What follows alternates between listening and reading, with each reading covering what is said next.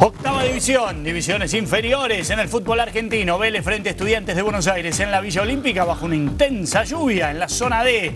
Lautaro que gana, luchando la posición de la pelota. Cristian Sena le comete la falta desde atrás. El árbitro le muestra la roja. Pese a los reclamos, se va expulsado el defensor del equipo de Caseros. Maxi Romero toca para García López, se mete en el área, remata, pero la saca Puntano. Lautaro Gauna sorprende tras el rebote y golazo. Bien por el delantero del Fortín, categoría 99, Vélez se adelantaba en el marcador. Segundo tiempo, Gauna a toda velocidad, centro rasante para Velázquez, se acomoda, le pega, Puntano otra vez que tapa y Enzo López con el cabezazo para el gol. El enganche del Fortín encuentra al arquero desacomodado y no perdona. Iba por más. La B blanca en este caso.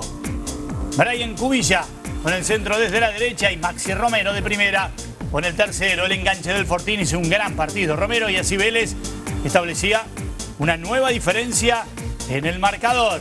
Y además iba a haber el cuarto, el tiro libre. Juan Villalón con el remate golazo en octava. Triunfo de la B, 4 a 0.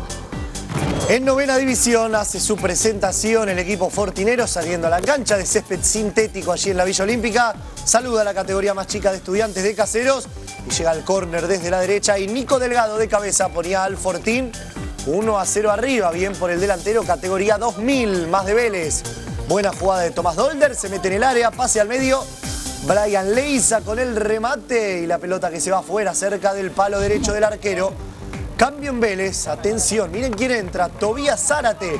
Sí, señores, el hijo del Rolly, con la número 18, haciendo su presentación en la novena de Vélez. Quería más el Fortín, Nico Delgado, Tobías Zárate remata de zurda. Tapa Juan Pablo Álvarez, Adrián Campos con el rebote.